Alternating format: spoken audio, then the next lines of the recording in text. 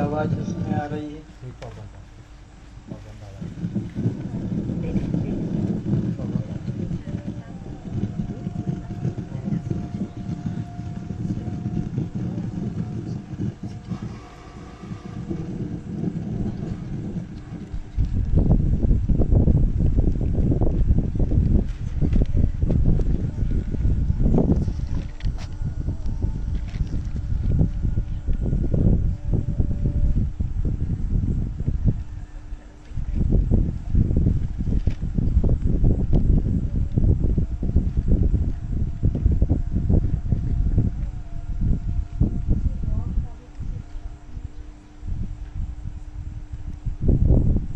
नहीं लाइट तो ठीक है लाइट की कमी नहीं है आवाज़ पंख पकड़ेगा ठीक है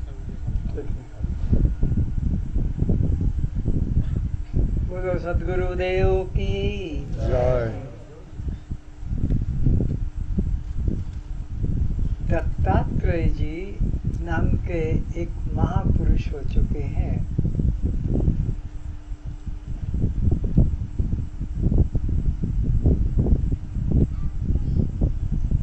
जयपुर नरेश अपने राज्य से रानियों से राजपुत्रों से कर्मचारियों से उपराम होकर सुख की तलाश में, शांति की तलाश में निकल पड़े।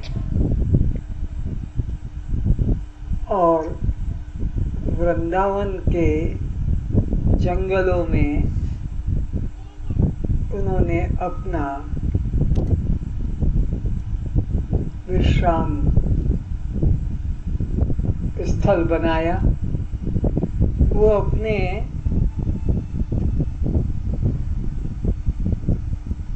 आसन पर बैठे हुए इस सोच में पड़े थे कि कैसे सुख शांति मिले। कहाँ जाऊँ? किसके पास जाऊँ? जो मुझे सुख शांति का रास्ता बता दे।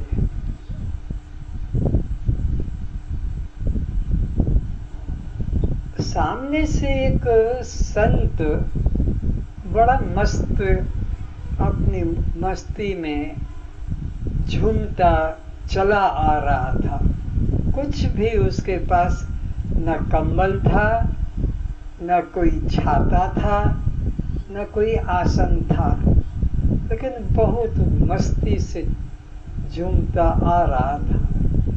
राजा को उसकी मस्ती सहन नहीं हुई कि ये क्या पाया है?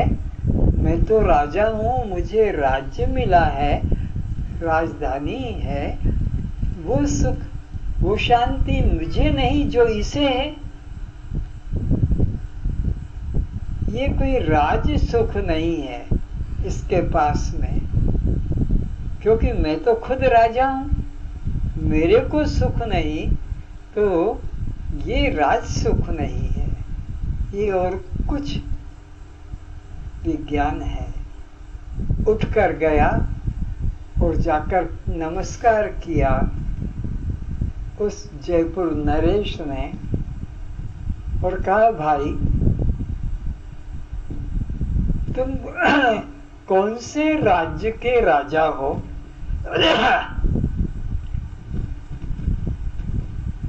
तुमने क्या तत्व पाया है जिसकी वजह से तुम इतने प्रसन्न हो? कौन गुरु के तुम शिष्य हो? किस गुरु ने तुम्हें दीक्षा दी है? मुझे बताओ। तो उस मस्ता ने संत ने कहा कि मैंने किसी कनफू के गुरु को गुरु नहीं बनाया है। मैंने तो जिन जिन प्राणी से, स्थावर जंगम से, मनुष्य ही नहीं, स्थावर से भी पेड़ पौधों से भी, जिस जिस मुझे शिक्षा मिली, मैंने उसको गुरु स्वीकार किया है। और कोई मैंने कंफ का गुरु नहीं बनाया है तो पहले तो मैं बताऊँ कि कौन कौन से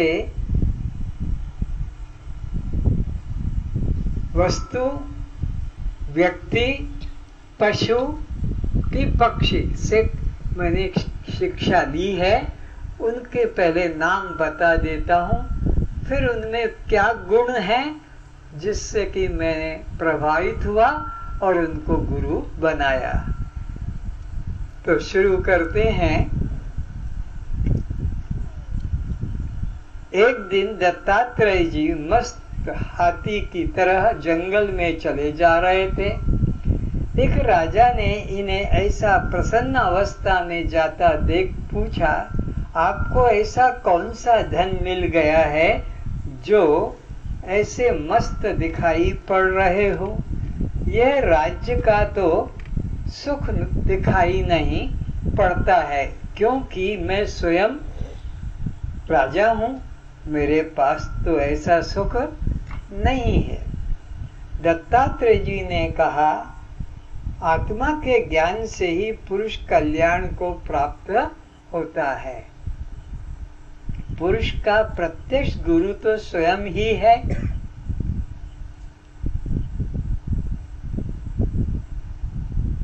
जब यह आत्मा की तरफ़ लग जाता है, अपने कल्याण का रास्ता अपना लेता है तो यही अपना गुरु है।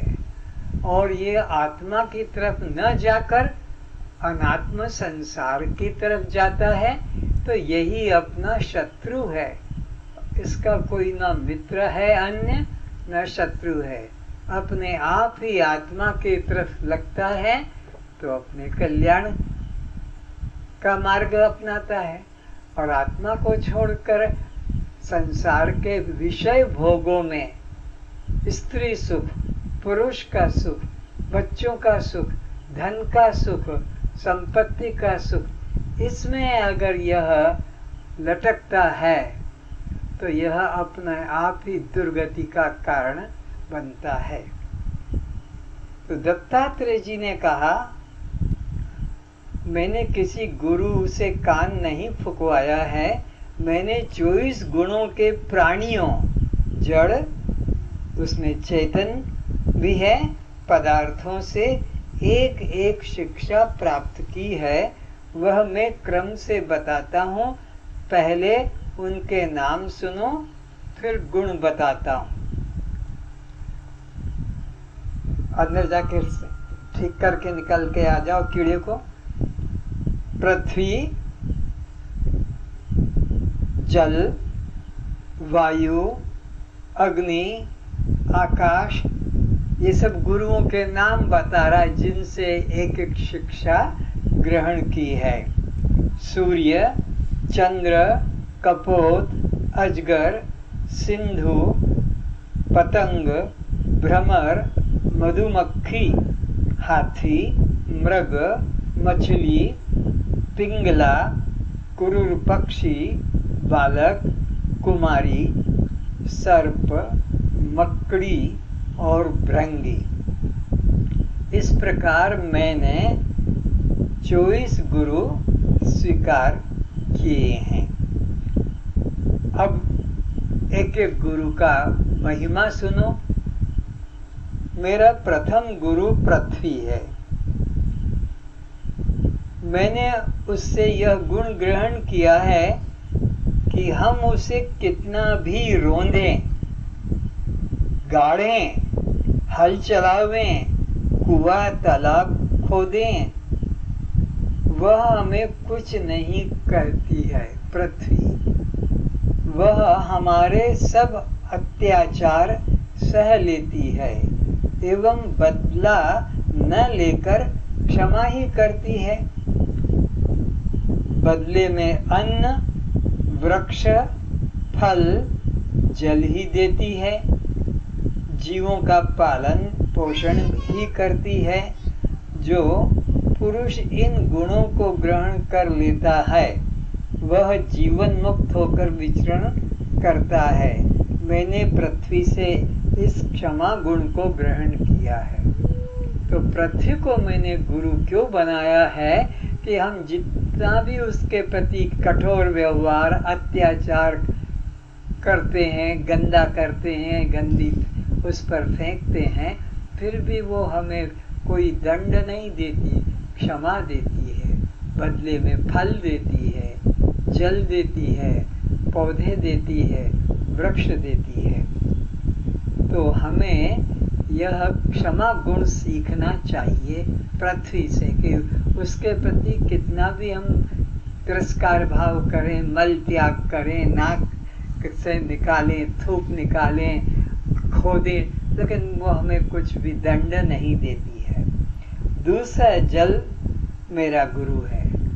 पहला तो पृथ्वी को गुरु बनाया, दूसरा जल को गुरु बनाया। जल से मैंने दो गुण दो गुण ग्रहण किए हैं। मधुरता, स्वच्छता, जल स्वभाव से ही स्वच्छ एवं मधुर है।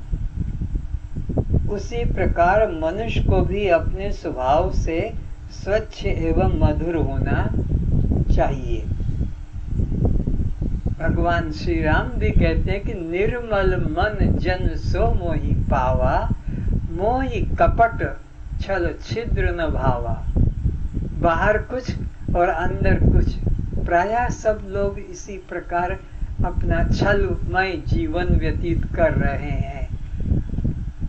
ऊपर से तो हम अपना स्वच्छ दिखाई पड़ते हैं, फिर अंदर हमारा मन कपटी होता है, कपटी, मलिन होता है। तो जल स्वभाव से ही स्वच्छ एवं मधुर है, उसी प्रकार मनुष्य को भी अपने स्वभाव से स्वच्छ एवं मधुर होना चाहिए। उसे छल कपट रहित मधुर भाषी होना चाहिए। यह दो गुण मैंने जल से लिए हैं। दत्तात्रेय जी कहते हैं कि तीसरा मेरा गुरु अग्नि है। अग्नि का अपना उधर ही पात्र है। जितना उसमें क्षमता है, रखती है और शांत हो जाती है। संग्रह करके नहीं रखती। अग्नि जितना है, निकाल देती है।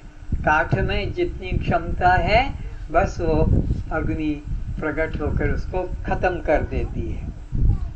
जिसकी अपनी जितनी क्षमता है, वह उतना ही अपने अंदर में समाकर रखती है।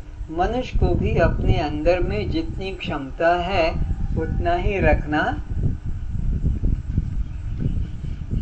चाहिए। उससे अधिक संग्रह नहीं करना चाहिए। इसलिए अग्नि को मैंने अपना गुरु बनाया है। अपनी आवश्यकता की पूर्ति से अधिक।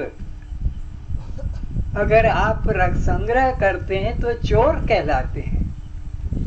हम सब चोर बने रहते हैं, क्योंकि हमारा जितना पेट पूर्ति हो जाता है, उससे फिर ज़्यादा हम संग्रह करके रखते हैं। तो यह अग्नि की द्वारा मैंने सीखा। कि जितनी उसमें क्षमता है, उतना ही वह जलाकर अग्नि बाहर कर देती है और छुपाकर नहीं रखती है। दत्तात्रेय जी कहते हैं, चौथा, मैंने वायु को गुरु बनाया है। जिस तरह वायु निरंतर चलता रहता है, किसी भी पदार्थ व स्थान में आसक्त नहीं होता। उसी प्रकार साधु को भी किसी भी व्यक्ति स्थान पदार्थ में आसक्त नहीं होना चाहिए। उसे चलता फिरता रहना चाहिए। जल बहता हुआ शुद्ध पवित्र होता है। अगर जल रुक जाता है तो वह गंदा मलिन हो जाता है, तालाब।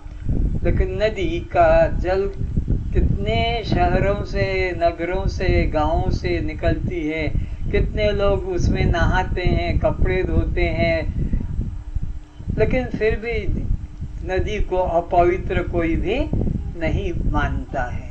तालाब का पानी रुका होने से उसे पवित्र नहीं कहते हैं। तो साधु जो होता है, महात्मा जो होता है, वो चलता हुआ अच्छा है। अगर रुक जाएगा तो उसके अंदर से फिर आपको एक एक बुराई दिखेगी। फिर अच्छाई नहीं दिखती है। वो तो ऐसा देखते हैं, वो तो ऐसा करते हैं तो ऐसा छूते हैं, ऐसा खाते हैं, ऐसा पहनते हैं, ऐसे चलते हैं, इत्यादि। फिर यही दृष्टि बनी रहती है।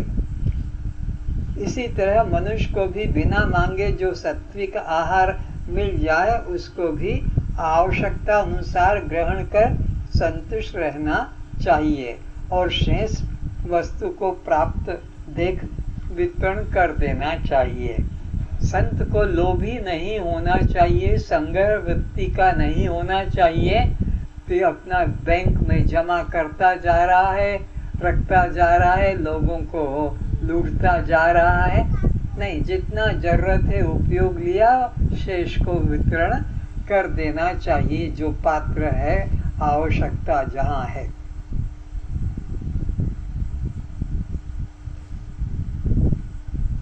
पांचवा गुरु आकाश को स्वीकार किया है। दत्तात्रेय जी कहते हैं, आकाश में सूर्य, चंद्र, तारे, नक्षत्र, ग्रह, उपग्रह, जहाज़, वायु, बादल, गैस, धुआँ वर्षादि होते हैं, पर आकाश का किसी से कोई अहंता ममता या राग द्वेष भाव नहीं रहता। वह सदा असंग ही रहता है। आकाश सबको अवकाश देता है अपने में, लेकिन किसी में भी आसक्त नहीं होता।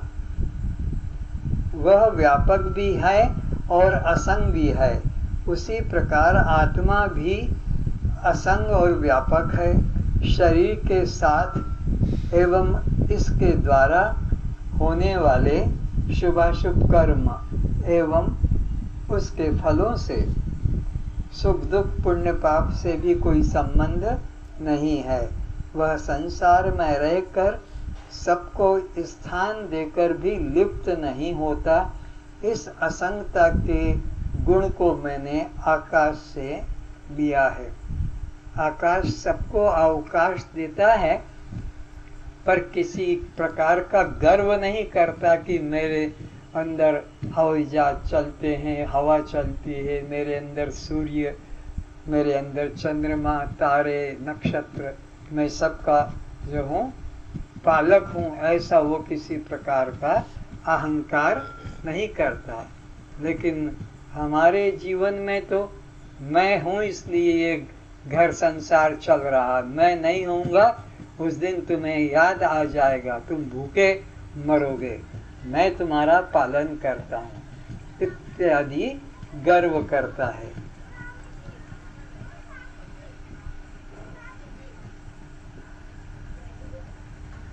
छठा गुरु मैंने चंद्रमा को बनाया है।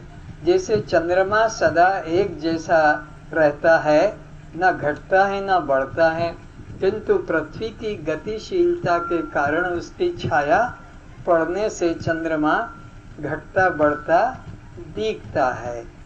इसी प्रकार आत्मा पूर्ण है, उत्पत्ति स्थिति प्रलय अवस्था में भी वह एक जैसी रहती है। ओम पूर्ण पूर्णमद पूर्णिदम पूर्णात पूर्ण मुदुच्यते पूर्णस्य पूर्णमादाय पूर्णमेवावशिष्यते। मैंने आत्मा की पूर्णता ज्ञान चंद्रमा से लिया है।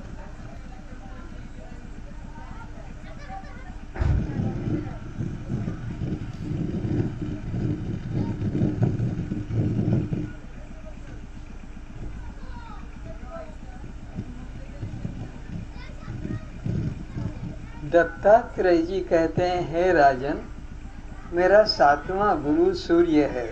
सूर्य अपनी किरणों में से पृथ्वी तल से जल को खींचकर उसका समय पर त्याग करता है। पृथ्वी में से जल को दिन रात खींचता रहता है और वह जहाँ ज़रूरत होती है, फिर उसका त्याग करता है। उसी प्रकार पुरुष द्वारा इंद्रियों का विषय ग्रहण कर विषयों को त्याग देना चाहिए। उनमें आसक्ति नहीं रखना चाहिए।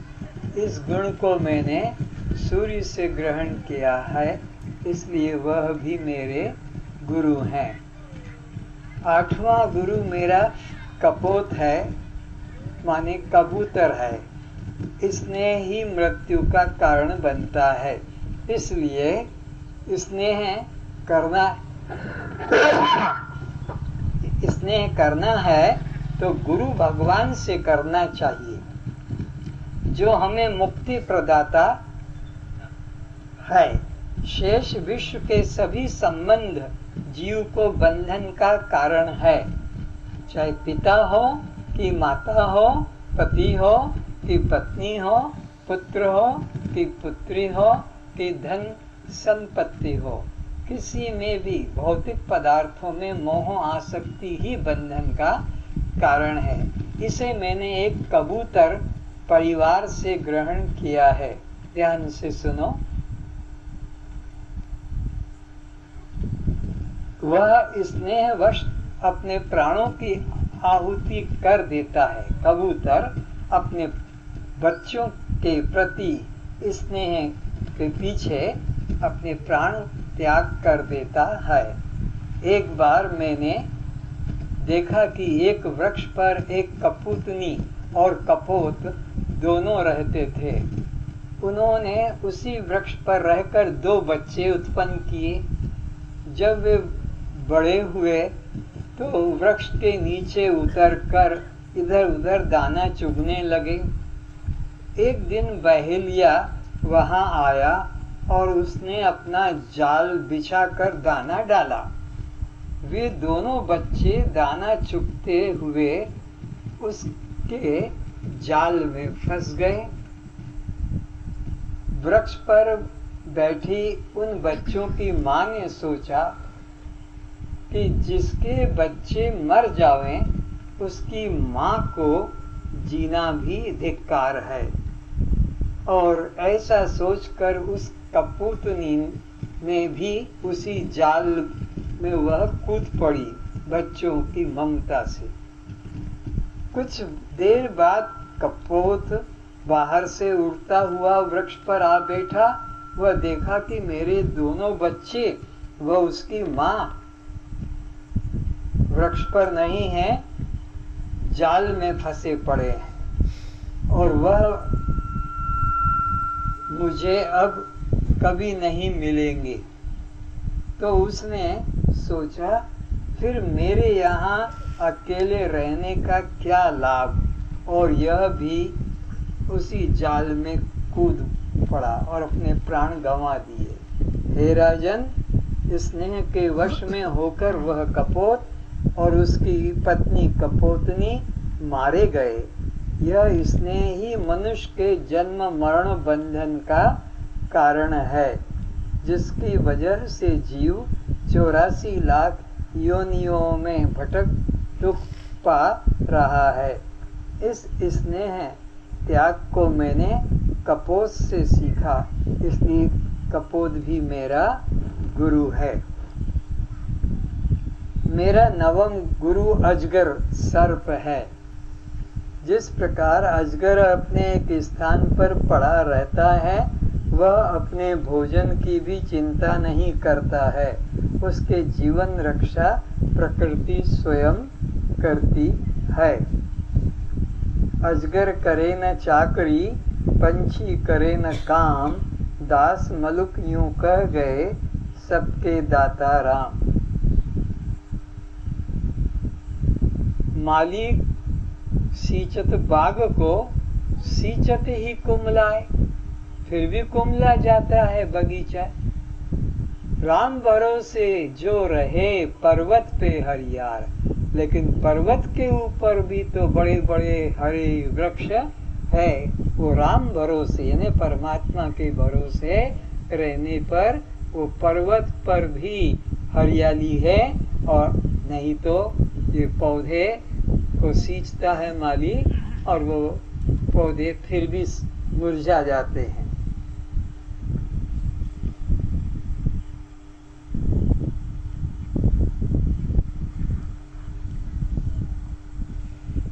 मुर्दे को हरी देता है, कपड़ा लकड़ी आग।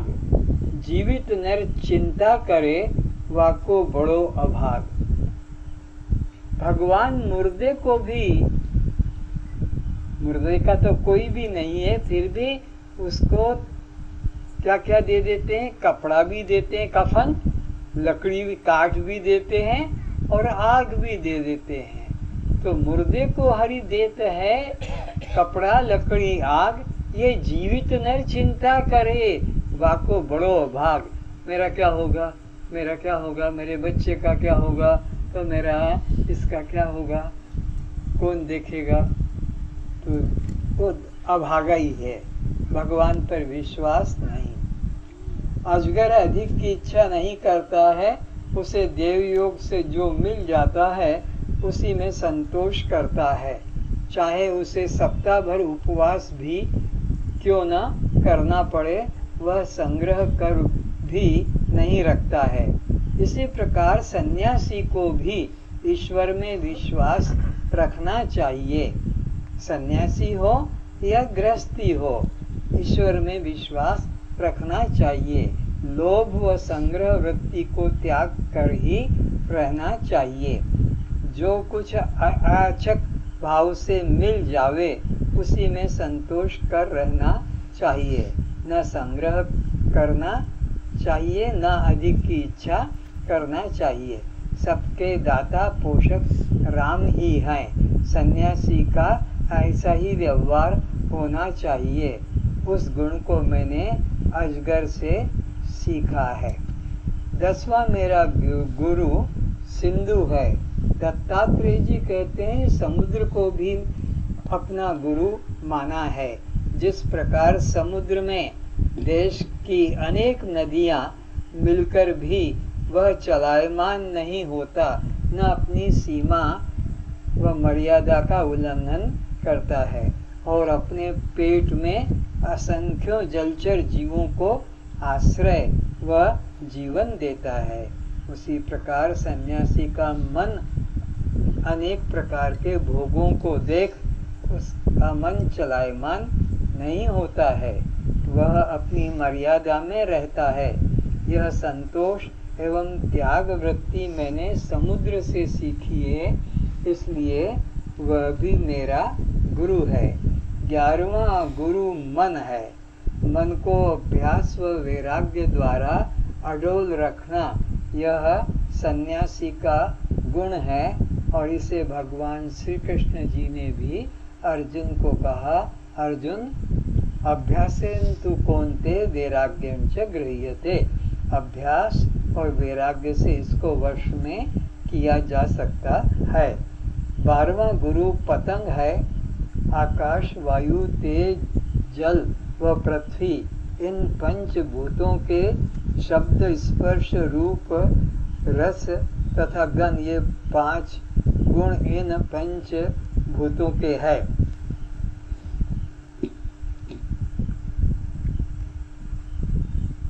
आकाश का विषय शब्द, वायु का स्पर्श, तेज का रूप, जल का रस व पृथ्वी का गंध गुण है।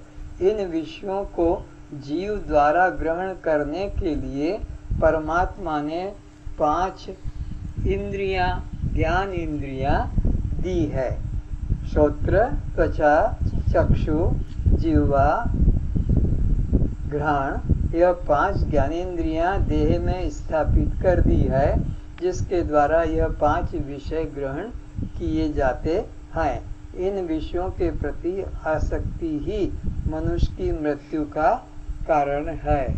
इन पाँचों विषयों में ही सारा जीवन व्यतीत कर देता है। सुबह से रात्रि तक, रात्रि से सुबह होने तक बस इन पाँचों विषयों को ही खोजता है और भोगता है। इसलिए सभी ज्ञानियों ने इन पाँचों विषयों के त्याग को ही मुक्ति का साधन माना है। इन विषयों में फंसे प्राणी की किस प्रकार दुर्गति होती है, इसके लिए पतंगा, भ्रमर, हरिण, मछली व हाथी का उदाहरण देकर बताता हूँ। ये पाँच प्राणी हैं जो अपने एक एक इंद्रिय के विषय में आसक्त होकर और मृत्यु को प्राप्त होते हैं। पतंगा दीपक के प्रकाश के ऊपर जा जाकर और अपनी रूप में आसक्त होने से वह मृत्यु को प्राप्त होता है। इसी प्रकार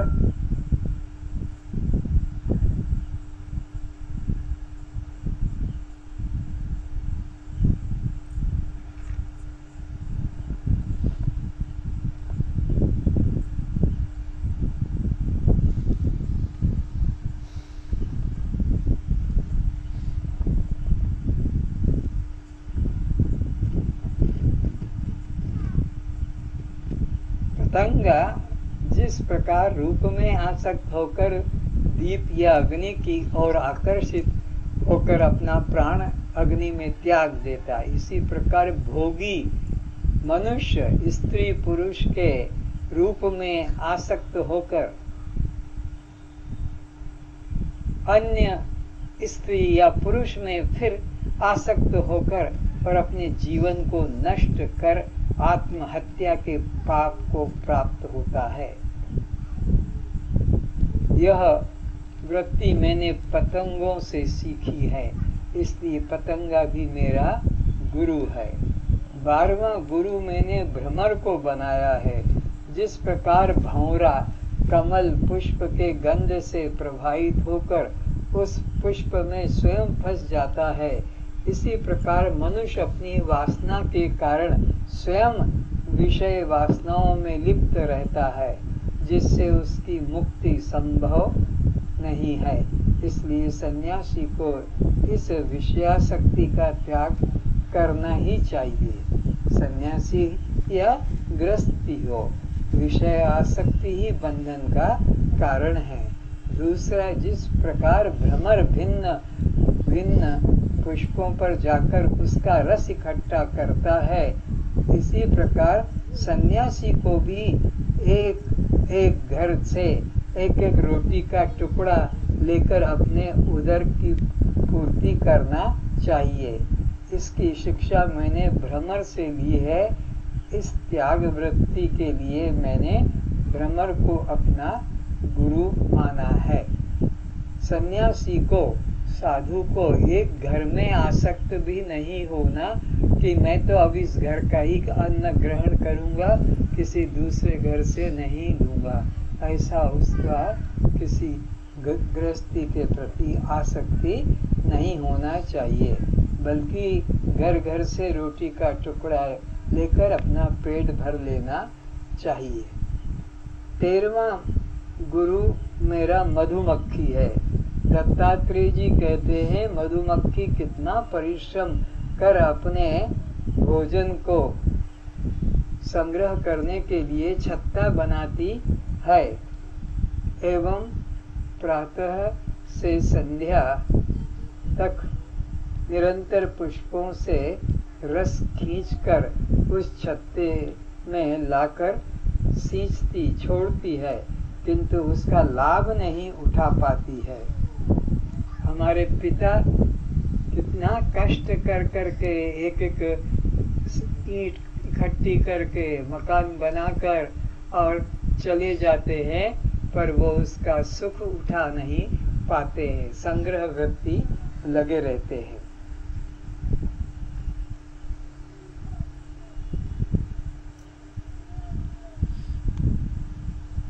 कोई दूसरा दुष्ट पुरुष चुराकर उसका लाभ उठाता है, इसलिए वह शहद संग्रह ही उसकी मृत्यु का कारण बनता है। इसलिए सन्यासी को संग्रह कभी नहीं करना चाहिए। चौदवा, गुरु मैंने हाथी को स्वीकार किया है। जिस प्रकार काम वासना से ग्रसित हाथी एक नकली हथिनी के साथ संभोग के लिए आगे बढ़ाया जाता है, वह एक बड़े कृत्रिम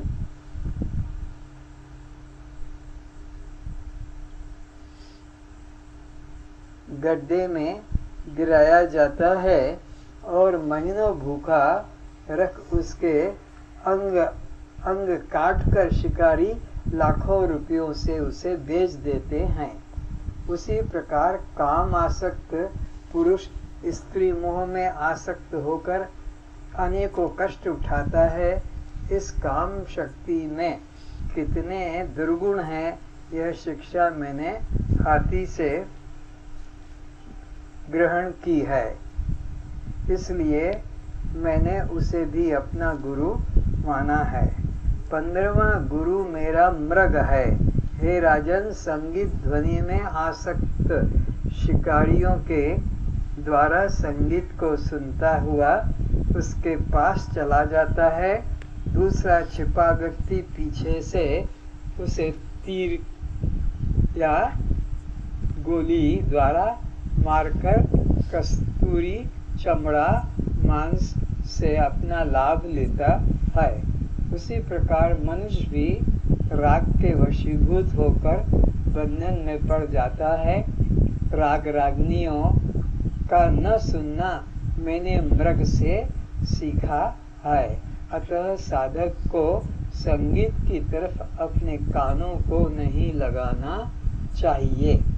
सोलवा गुरु मैंने मछली को माना है, जिस प्रकार मछली अपने रसेंद्रिय की आसक्ति के कारण मांस मुँह में लेने से, मांस में छिपे कांटे में उसकी जीप फंस जाती है।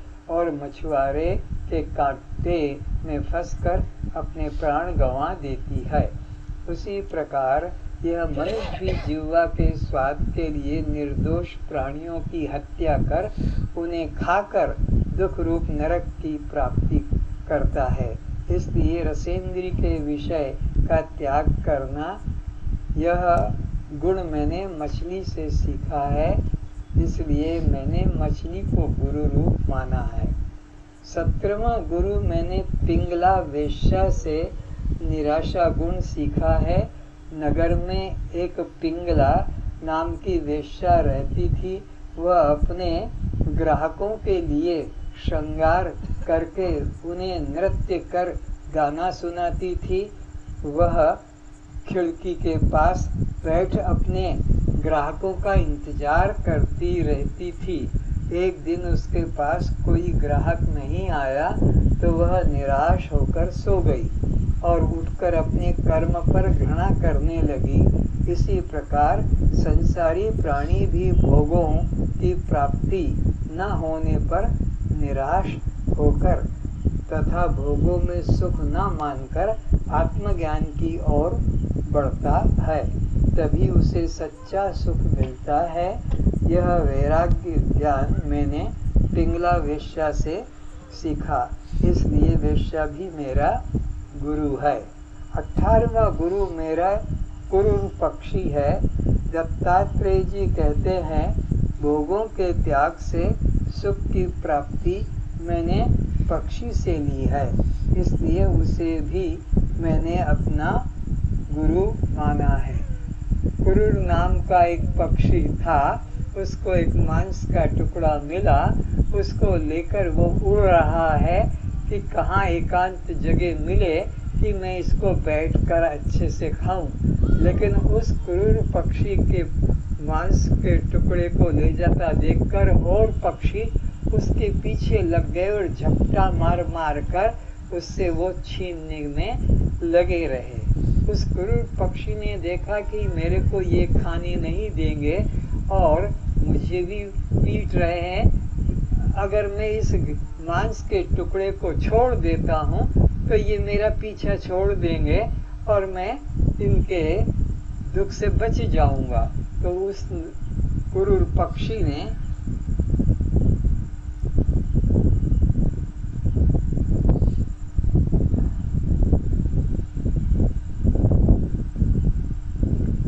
किंतु उसे कई दूसरे पक्षी उस मांस के टुकड़े को लेने उसके पीछे झपट पड़े और उसे मारने लगे। गुरु पक्षी ने सोचा, यदि मैं इस मांस के टुकड़े को छोड़ देता हूँ तो ये सब जो मेरा पीछा कर रहे हैं, मुझे झपट रहे हैं, मार रहे हैं, ये मुझे छोड़ देंगे। यह मांस का टुकड़ा ही मेरे दुख का कारण है। तो यह सोचकर उसने उस टुकड़े को छोड़ दिया। पृथ्वी पर गिर गया तो वे सब पक्षी उसे छोड़ पृथ्वी की तरफ़ उड़ गए। इसलिए जो भोगों में लिप्त है, उसी पर चोर, डाकू आदि पीछा कर मारते हैं, पीटते हैं, लूटते हैं, वार करते हैं। त्याग से ही परम शांति मिलती है। निरंजन यह तू भी शिक्षा इस पक्षी से ले एवं त्यागमय जीवन व्यतीत कर दत्तात्रेय जी कहते हैं, यह शिक्षा मैंने कुरेल पक्षी से ली, इसलिए उसे भी मैंने अपना गुरु माना है।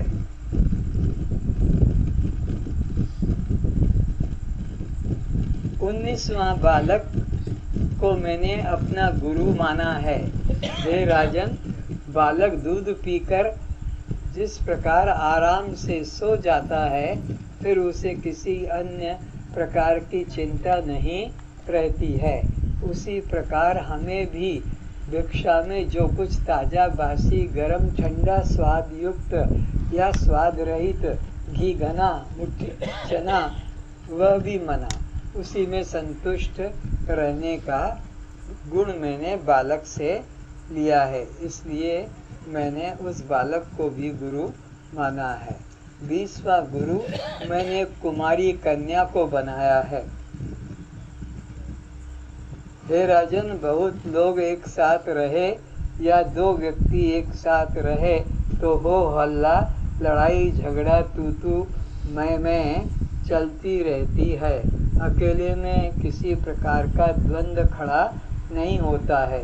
इसलिए साधु सन्यासी को अकेला ही रहना चाहिए। बहता नीर स्वच्छ माना जाता है, ठहरा जल अशुद्ध होता है। इसलिए साधु भी चलता भला होता है, ठहरा गुरु में दोष है। हे राजन, एक ग्राम में मैं भिक्षा के लिए गया। और उसके द्वार पर कहा, भिक्षाम देही। तो एक युवती घर में से निकल कर आई और उसने कहा, महाराज, आप बैठिए, मैं अभी आपके लिए भोजन लाती हूँ। वह अंदर गई, पर कुछ भी भोजन वहाँ नहीं था। तो सोचा कि घर से, द्वार से सन्यासी भूखा जाए, ये तो अच्छा नहीं। तो उसने चावल के डब्बे के हाथ लगाया तो उसमें चावल भी नहीं था। सोचा बड़ी मुश्किल हो गई। तो धान को कूटने के लिए उसने देखी चलाई। तो उसके हाथों में बहुत चूड़ियाँ थी। ये चूड़ियाँ महिलाओं को ज़्यादा आसक्ति करती है। तो उसने सोचा, वो सन्यासी सोचेगा कि इस घर में तो चावल तक नहीं है। इतना गरीब घर है तो फिर वो चला जाएगा। तो उसने चूड़ियाँ निकालना शुरू की। दस दस चूड़ियाँ थी तो करते करते दो दो चूड़ियाँ जब रह गई, तब भी देखा कि आवाज़ आ रहा है। तो फिर एक एक चूड़ियाँ कर ली और फिर धान कूटने लगी और फिर वह भोजन पकाकर उसे सन्यासी को दिया। सन्यासी वो आवाज़ को सुनता रहा कि इसने अपने हाथों की चूड़ियाँ कम कर, करते करते एक एक चूड़ियाँ रख ली। तब कोई आवाज़ नहीं। तो यह शिक्षा ग्रहण करना है कि द्वैत में ही द्वंद्व है अद्वैत में किसी प्रकार का द्वंद्व नहीं है। कन्या के हाथों में बहुत सी चूड़ियाँ थी तो वे आवाज़ कर रही थी। कुमारी ने विचार किया, सन्यासी सोचेगा, यह बहुत गरीब घर है, यहाँ तो चावल भिक्षा नहीं मांगना चाहिए। कन्या ने उस चूड़ियों को एक एक करके उतारती गई। सन्यासी आवाज़ सुन रहा था। जब दो दो चूड़ियाँ रह गई, तब भी थोड़ी आवाज़ आ रही थी। जब एक एक चूड़ी हाथ में रह गई तो आवाज़ शांत हो गई। तो इस घटना से मैंने सोचा, सन्यासी को अधिक लोगों के मेल जोल उनके साथ चिंतन में बाधा होता है। मेल जोल उसके ध्यान चिंतन में बाधक होता है। वे लोग चाहे जब सन्यासी के स्थान में खड़े हो जाते हैं, अब उन दर्शकों के साथ सन्यासी बात न करे तो दर्शक भक्त का अपना अपमान लगता है और सोचते हैं बाबा जी सन्यासी, गुरु जी। स्वामी जी हमारी कोई परवाह ही नहीं करते। अब उन दर्शकों के खाने पीने, रहने, सोने ओढ़ने की चिंता बाबा जी को आश्रम में करना पड़ेगी। अब वह बाबा जी का भजन, ध्यान, चिंतन, आटा, दाल, साग, सब्ज़ी का चिंतन करेगा। इतने लोगों को खाना खिलाना है। अब क्या करूँ? इसलिए साधु को अकेले रहना चाहिए। ज़्यादा लोगों से मेल जोल नहीं रखना चाहिए। दो का संग भी ठीक नहीं। यह उस कुमारी के हाथ की एक एक चूड़ी से शिक्षा मैंने ली, मैं उस कुमारी कन्या को भी अपना गुरु मानता हूँ। ये घटना कबीर दास जी के जीवन में घटी। रोज सुबह से लोग आ जाते और भजन, कीर्तन भजन, कीर्तन चलता रहता था। जब 12 बजे का समय होता, लोग जाने लगते। तो कबीर जी कहते, अरे भाई, भोजन का समय है, अभी कहा जा रहे हो? भोजन करके जाना। तो ऐसे आते रहते थे लोग। कबीर जी का जो बेटा था,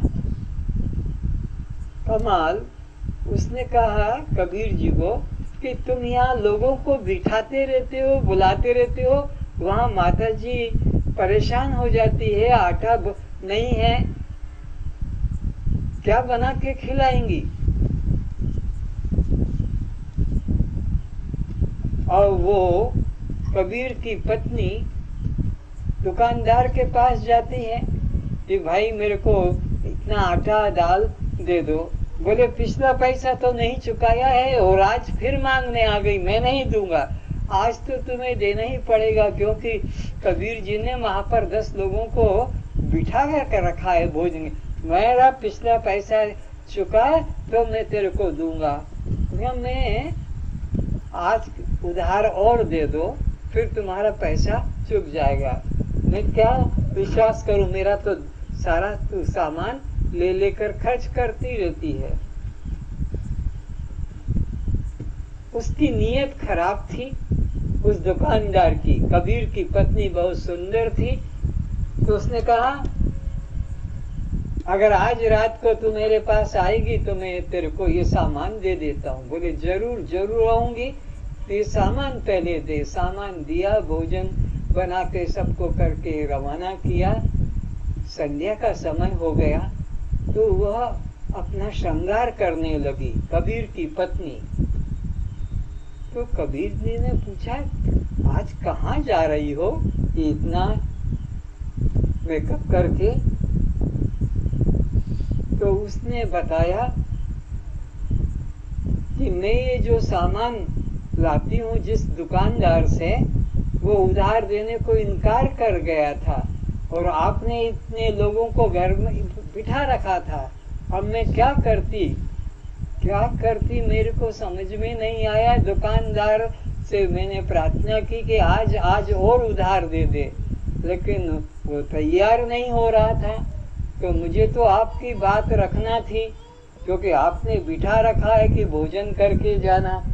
तो मैंने उसको कहा कि भाई, तू मेरे को आज उधार दे दे। तो उसने ये शर्त रख दी कि अगर आज रात को तू मेरे पास आएगी तो मैं तेरे को ये सामान देता हूँ। मैंने हाँ कर लिया तो अब मैं जा रही हूँ। तो कबीर जी ने कहा कि ठीक है, मैं तेरे को छोड़ाता हूँ, अंधेरा का समय हो रहा है। छाता लिया कबीर दास जी ने और पत्नी को साथ लेकर और उस दुकानदार के द्वार पर पत्नी को खड़ा कर दिया कि अब तू जा, मैं बाहर बैठा हूँ। जो काम करना है करके खत्म करो और फिर मैं तेरे को घर ले चलूँगा। वो दुकानदार को तो विश्वास नहीं था कि ये वापस आएगी क्या मेरे पास में। और दरवाज़ा खटखटाया कि देखा कि कबीर की पत्नी, वो तो हक्का बक्का रह गया कि अरे, ये तो आ गई। तो बोली, तुम इस बरसात में और सूखे कपड़े कैसे? बोले, कबीर जी मेरे को छोड़ने आए वो घबरा गया कि पति साथ में आया है, मारपीट हो जाएगी कुछ। तो वो बाहर बैठे हैं और बोले, जो करना है वो तुम्हारा काम खत्म कर लो और फिर मैं तुझे ले जाऊँगा। और वो कबीर जी के पास में वो आया, दुकानदार, और चरणों में गिरा। बोले, भाई, चरणों में गिरने का अभी टाइम नहीं, सुबह सत्संग में आना। अभी तेरा काम जो करना है, कर ले जल्दी से। और फिर कबीर के साथ में वह पत्नी आई। तो इस प्रकार से जीवन में घटनाएँ घटती है। तो बाबा जी को आश्रम में ये सब झंझट करना पड़ता है कि जो चले आते हैं, बिना बताए चले आते हैं, उनके खाने पीने की, रहने की, ओढ़ने बिछाने की व्यवस्था करना पड़ती है। नहीं करें तो कहेंगे, बाबा जी बड़े घमंडी हैं, हम गए तो बात नहीं की, हमको बैठने को नहीं कहा कि खाने को भी नहीं कहा। वो क्योंकि वो तो ऐसे देखते रहते त्रुटि गुरु के अंदर। तो मैं उस कुमारी कन्या को भी अपना गुरु मानता हूँ। इक्कीसवा गुरु सर्प है। हे राजन, सर्प अपना घर नहीं बनाता है। किसी बने, बनाए घर में ही अपना जीवन व्यतीत कर लेता है बिल में रहता है। उसी प्रकार सन्यासी को भी अपना घर आश्रम नहीं बनाना चाहिए। कहीं उस स्थान का, उस आश्रम की सामग्री से मोह न हो जाए। इसलिए वह बने बनाए गुफा, मंदिर, धर्मशाला, झोपड़ी में ही अपना जीवन निर्वाह करता है। यह मैंने सर्व से सीखा है, इसलिए मैंने उसे अपना गुरु माना है। इसलिए निरंजन ने भी इस झंझट से मुक्ति पाने के लिए एक कदम पृथ्वी पर भी अपना अधिकार नहीं रखा है। बाईसवा गुरु तर्कस एक बाण बनाने वाले से सीखा। एकाग्रता होने से मन इधर उधर नहीं जाता है। राजा की सवारी उधर धूम धड़ाके से निकल गई। जूता सिलाई करते हृदय जी को पता नहीं लगा। राज कर्मचारियों ने पूछा, इधर से कोई जुलूस गया? उसने कहा, नहीं तो ऐसी एकाग्रता से ध्यान होना चाहिए। तेवीसवा मकड़ी को गुरु बनाया। जिस प्रकार मकड़ी अपने मुख से लार निकाल जाला बनाती है और फिर उसी में फंस जाती है, उसी प्रकार व्यक्ति अपने संकल्पों से स्वयं उसी में फंस जाता है, इसलिए अपने संकल्प विकल्पों के त्याग का गुण मैंने मकड़ी से सीखा है। चौबीसवा गुरु मेरा भृंगी है। हे राजन भृंगी एक कीट होता है, वह किसी अन्य कीट को पकड़ अपने घोंसले में रख लेता है। और उसके सम्मुख वह भृंगी गूंजता है। तो कीट उस आवाज़ को सुनकर स्वयं भी उसी प्रकार गुंजार करने लग जाता है और उसी तरह भृंगी बन जाता है। इसी प्रकार मनुष्य भी बार बार देह का चिंतन करते अपने को जन्मने मरने वाला मानने लग जाता है। जैसे सिंहनी का बच्चा भेड़ों के साथ रहकर अपने को भेड़ जान लेता है, उसी तरह कुंती पुत्र अपने को दासी पुत्र पालने पर दासी पुत्र मान लेता है। दासी पालती थी तो दासी का ही अपने को पुत्र मान लेता है, जबकि वह राजमाता कुंती या पांडु पुत्र था। इसी प्रकार देह के साथ अहम भाव करने से वह जीव अपने को शरीर ही समझने लगा है। हे राजन, जब इस जीवात्मा के पुण्य पुंज प्रताप से किसी सदगुरु की प्राप्ति होती है, तब उसके यथार्थ ज्ञान पाकर वह अपने को आत्मा रूप जान, देह भाव त्याग कर जीवित की मुक्ति पा जाता है। इन चौबीस गुण वालों से मैंने उन्हें अपना जीवन गुरु मान लिया। कल्याण और किया है। अब मैं परमानंद में स्थित हूँ। अतः मैं उन समस्त चिंताओं से मुक्त होकर विचरता हूँ। यही मेरी मस्ती का कारण है। वह राजा भी दत्तात्रेय जी के मोह त्याग की बात को अपने जीवन में धारण कर परमानंद का अनुभव करने लगा। साक्षी जब मिलता है तो यह होकर या वह होकर नहीं मिलता। जब साक्षी मिला तो मैं होकर मिला। तू रूप में नहीं, वह रूप में नहीं, मैं साक्षी हूँ, इस रूप में मिला। सभी लोग इसी प्रकार अपनी आँखों को बंद करें और अपने साक्षी स्वरूप का ध्यान करें। श्वास आ रहा है, अंदर की तरफ़ आने दे आने दे। रुक गया देखते रहें। फिर रास्ता बदल कर बाहर जा रहा है, बस देखते रहें देखते रहें देखते रहें। श्वास के आवागमन के आप साक्षी बने। साक्षी के द्वारा कोई भी कर्म होने से वह बंधन को प्राप्त नहीं होता है। यही साक्षी भाव की विशेषता है।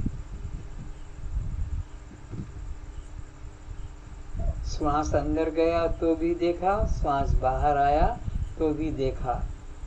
मन चंचल है तो भी देखा और मन शांत है तो भी देखा। साक्षी मन के साथ अपने को कर्ता भाव में जोड़ता नहीं। मन ही करता है और मन ही भोगता है। मैं केवल साक्षी। साक्षी भाव जिसने साध लिया उसने अपना जीवित ही कल्याण कर लिया कर्ता भाव ही बंधन का कारण है। साक्षी भाव ही मुक्ति का रूप है। जैसे घट्टी के बीच में एक कील होती है, जो क्लास में लास्ट दिन, आखिरी दिन दिखाया जाता है, उस पर मूंग पीस कर कि वो जितना दाना डाला गया, पिस जाता है। लेकिन जो दाना कील के पास है, लगा रहता है, वो पिसता नहीं है। वो कील ही साक्षी भाव है। जो साक्षी भाव में ठहर गया, साक्षी भाव में रुक गया, वह जीवन मुक्त हो जाता है। और जो साक्षी भाव छोड़कर कर्ता भाव, भोक्ता भाव ले आता है बस वह ही बंधन को प्राप्त होता है। इसलिए अपने को केवल साक्षी करके जाने।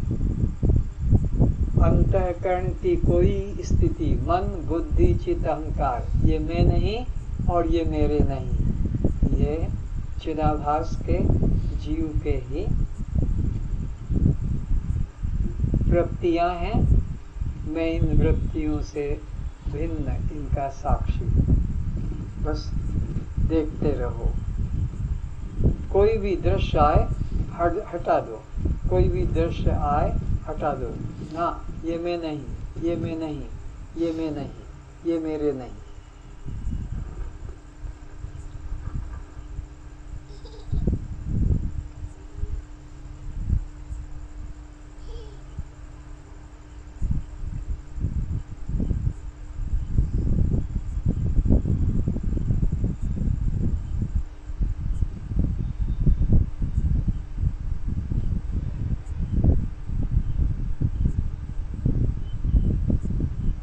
श्वास वो डोरी है जो एक तरफ़ परमात्मा से जुड़ी है और दूसरे तरफ़ जीवात्मा से जुड़ी है।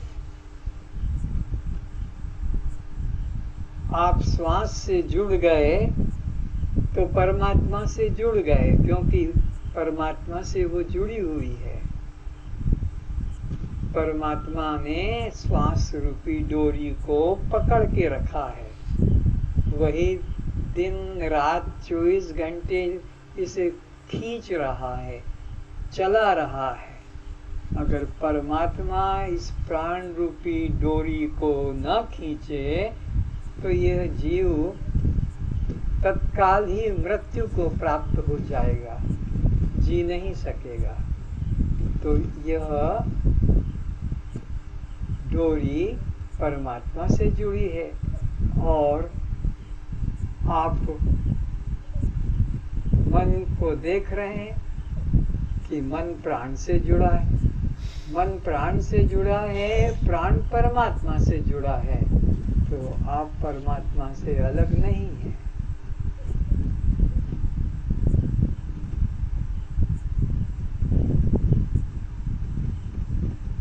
केवल देखते रहो।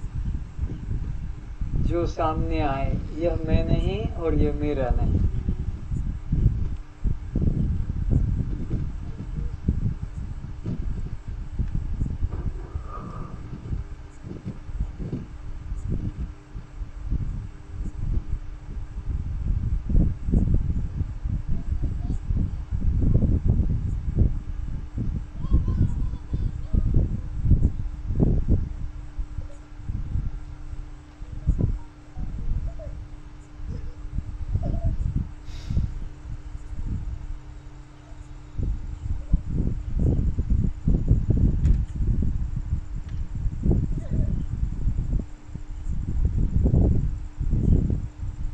केवल श्वास को ही देखते रहेंगे तो भी कल्याण हो जाएगा। किसी रूप को, किसी आकृति को सामने लाने की कोशिश न करें। केवल श्वास को। यह चमत्कार है श्वास का कि श्वास के साथ अगर आप जुड़ गए, अंदर आते, बाहर जाते देखते रहे तो आपके मन में राग द्वेष नहीं आएगा। और कोई भी कर्म करो राग द्वेष से जुड़ जाते हो। कोई भी जप करो, माला करो, कि किसी का ध्यान करो राग द्वेष आ जाएगा। लेकिन श्वास को देखते रहो तो कभी भी राग द्वेष नहीं आएगा। कोई भी इसका मन में न राग करेगा, न द्वेष करेगा। सब कामों में राग द्वेष होता है। लेकिन श्वास के साथ राग द्वेष का कोई रास्ता नहीं। कोई नहीं कहता है कि श्वास और आ जाए, और आ जाए, और आ जाए, जल्दी जल्दी आ जाए। कोई नहीं विचारता कि श्वास जल्दी जल्दी चला जाए, जल्दी जल्दी चला जाए, जल्दी जल्दी चला जाए। श्वास के प्रति केवल साक्षी भाव रहे। बस आ रहा है तो देखो, और जा रहा है तो देखो। न राग की बात है, ना द्वेष की बात है इसमें। सारे विश्व के लोग श्वास से कोई प्रकार का राग द्वेष नहीं करते हैं। हिंदू, मुसलमान, सिख, ईसाई, जैन, बौद्ध, आर्य, अनार्य श्वास के साथ कोई नहीं, दुश्मनी करता है, न कोई मोह करता है कि ज़्यादा ज़्यादा आए, जल्दी जल्दी आ जाए या ज़्यादा ज़्यादा चला जाए। जल्दी जल्दी चला जाए। ना, बस जैसा आ रहा है, देखते रहो। जा रहा है, देखते रहो।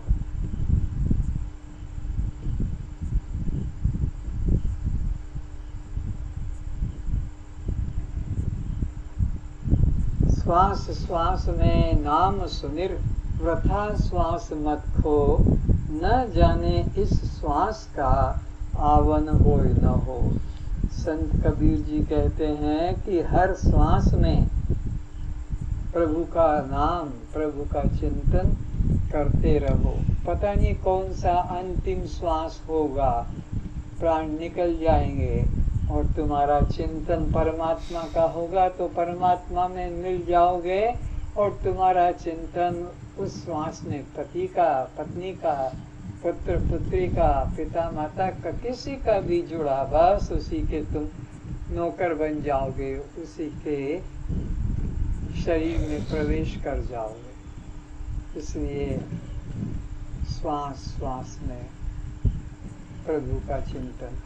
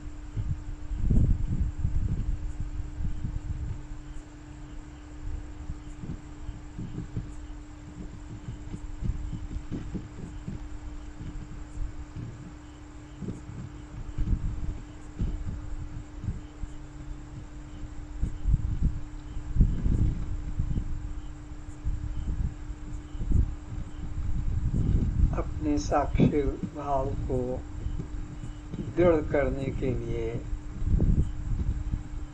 निर्माण शतक शंकराचार्य जी ने अपने शिष्यों को सिखाया कि इसको हमेशा स्मरण करते रहें। नाहं मनुष्यो न च देवयक्षो। नाहं मनुष्य न च देवचक्षु न ब्राह्मण्यक्षत्री न वैष्णशूद्र। न ब्राह्मण न क्षत्रिय न वैश्यशूद्र। न ब्रह्मचारी गृही न वनस्तो न ब्रह्मचारी गृही न वनस्तो भिक्षुर्न चाहं शिवोऽहं शिवोऽहं। भिक्षु न चाहं शिवोऽहं शिवोऽहं। मनोबुद्धिहङ्कार चित्तानि नाहम् मनोबुद्धि अहङ्कार चित्तानि नाम न च श्रोत्रजिह्वे न च घ्राणनेत्रे। न च शूद्रजीवे न च घ्राणे न च व्योमभूमि न तेजो न वायु। न च भूमि न तेजो न वायु। चिदानन्दरूप शिवोऽहं शिवोऽहं चिदानन्दरूप शिवोऽहं शिवोऽहम् न मे प्राणसंज्ञो न वै पञ्चवायु नवे प्राणसंज्ञो नवे पञ्चवायु न वा सप्तधातुर्न वा पञ्चकोशा न वा सप्तधातु न वा पञ्चकोश न वाक्पाणिपादं न चोपस्थपायु न चोपस्थपायु चिदानन्दरूप शिवोऽहं शिवोऽहं। चिदानन्दरूप शिवोऽहं शिवोऽहम्। न मे द्वेषरागो न मे लोभमोहो मे देशरागो न मे लोभमोहो मदो नैव मैनेव मात्सर्यभावः मदनैव मेनैव माश्चर्यभावः न धर्मो न चार्थो न कामो न मोक्ष। न धर्मो न चार्थो न कामो न मुख्य। चिदानन्दरूप शिवोऽहं शिवोऽहं। चितानन्दरूप शिवोऽहं न पुण्यं न पापं न सौख्यं न दुःखं। न पुण्यं न पापं न सुखं न दुःखं। न मन्त्रो न तीर्थ न वेदा न यज्ञ। न मन्त्रो न तीर्थ न वेद न यज्ञम् अहं भोजनं नेव भोज्यं न भोजने न भोक्ता। चिदानन्दरूप शिवोऽहं शिवोऽहं। चिदानन्दरूप शिवोऽहं शिवो न मे मृत्युशङ्का न मे जातिभेदा। न मे मृत्युशङ्का न मे जातिभेदा। पितनेव मेनेव माताश्च जन्म। पिता नैव माताश्च जन्म। बन्धुर्न मित्रं गुरुर्नेव शिष्यः। न बन्धु मित्र गुरुनैव चिदानन्दरूप शिवोऽहं शिवोऽहं। चिदानन्दरूप शिवोऽहं शिवो अहं निर्विकल्पी निराकाररूपी।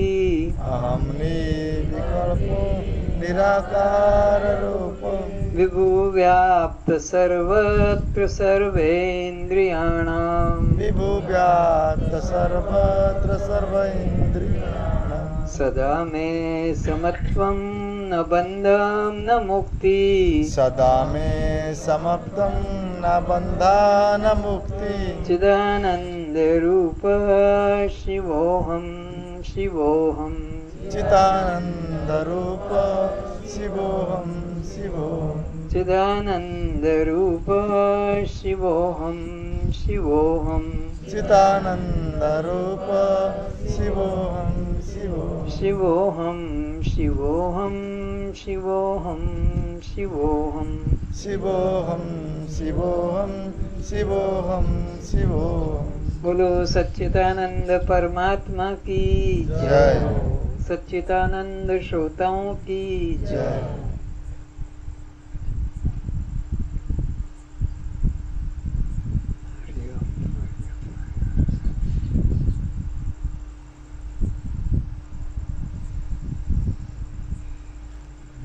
नौ पंद्रह। अब सबको प्रसाद वितरण करें।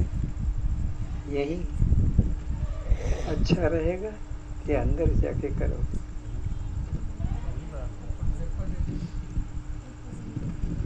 अरबड़